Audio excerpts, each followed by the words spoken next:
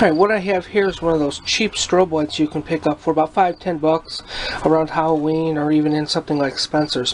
And what I've done is, is I've modified it so that I could trigger it myself. Uh, its normal operation is you turn it on and then you adjust this dial to choose how fast you're going to turn the pulses on. But what I've done was is I've added a connector that I can send a signal to that will make it pulse when I want it to. I added a switch so that I could run it in normal mode so that it acts just like it was when I bought it at the store or I have it set up so that I can trigger it. The other connector is for power. Now these are battery operated 6 uh, A's, but you know batteries they always die when you least want them to so what I did was is I've added this connector that I hook up my own power to and what I'm going to do is show you how I modified it so that I could trigger it so here's the strobe light. I have it connected up to power into my switch for triggering. If I put my switch into normal mode and and turn it on what you can then see is that it is flashing. And if I adjust the little dial in the back I can control how fast it's flashing. Now if I take it and I put it in its trigger mode you see that it isn't flashing and what I did was is I just have it connected to a single pole single throw switch and when I push the button you can see that it flashes. There is sort of a delay between when I send a signal in and when it actually flashes. That's the strobe charging up. So now when I want it to flash all I gotta do is push the button and it will flash. So here we go, here's the inside. Here's the relay which is what I used to trigger it. I used a single pole double throw switch, which you don't have to if you're not going to switch between normal and trigger mode, but I like to use it just in case I'm going to use this in a different display. You don't need to have the power connector if you're going to run it off the batteries. The relay allows you to use a separate source for the signal, but you will have to have either a connector or wires coming out for this uh, trigger signal. Now, tools you'll need, basically a soldering iron, wire strippers, some needle nose, some wire cutters. This isn't really hard to assemble. So let's go ahead and get to it. I'll pull one apart and go ahead and show you how I made them. So here's the unmodified one. I've already went ahead and drilled the holes for the connectors and the switch.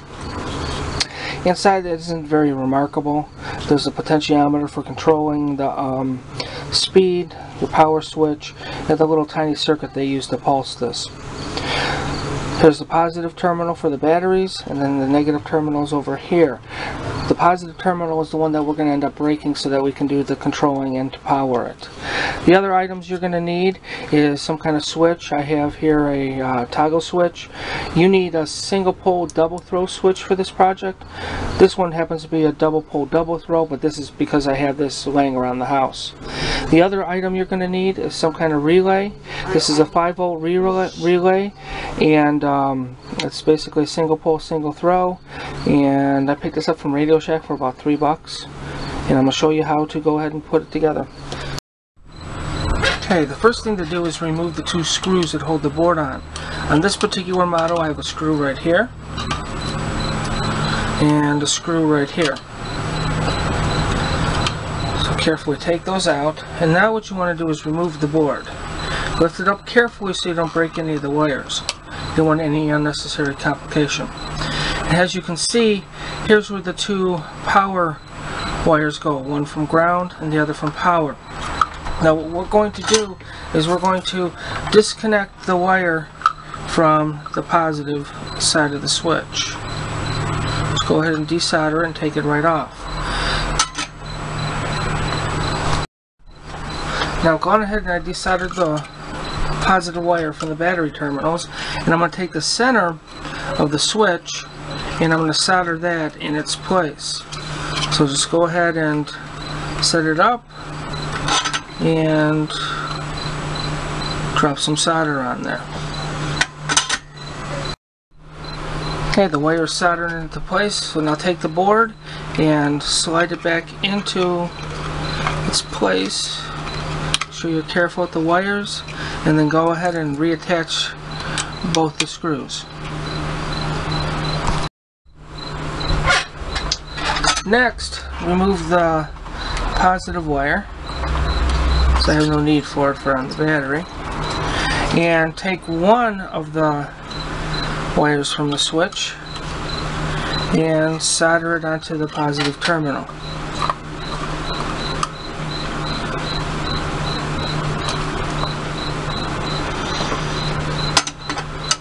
Like so. Go ahead and take my RCA connector that I'm going to use for the trigger, slide it in its hole.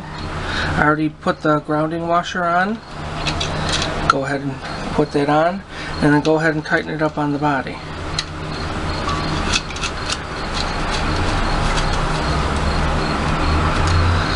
Now it's time to put the other end of the coil into the connector, so I'll just go ahead and put the wire in and drop a little solder on.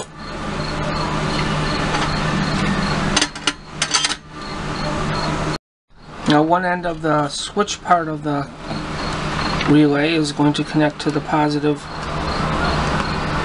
of the battery terminals.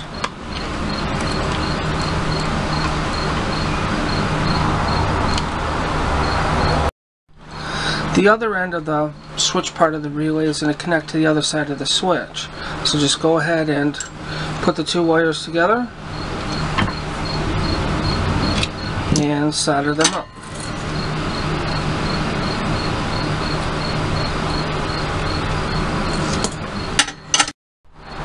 Now I did put a piece of heat shrink tubing on the two connections so they don't short out anywhere and I'll go ahead and push it all aside. And the last step is to go ahead and put the power connector on there. Now, as it stands now, this will work with batteries. I have not disabled the batteries at all. So this whole thing still will work with batteries. I just don't choose to run it that way. So I'll go ahead and put the RCA connector I'm going to use for power. It's grounding washer. And I'll go ahead and tighten it up. Next step now is to go ahead and connect up the positive wire to the positive terminal. Just be careful as you're soldering it you don't move everything over and out of the way that you've already put on there. And lastly is to go ahead and attach the negative wire to the negative terminal.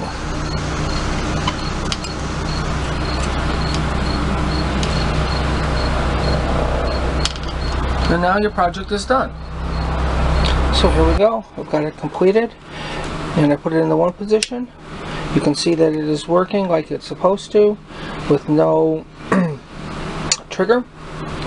And then if I put it in the other position, pushing my button causes it to trigger. I hope you enjoyed this project.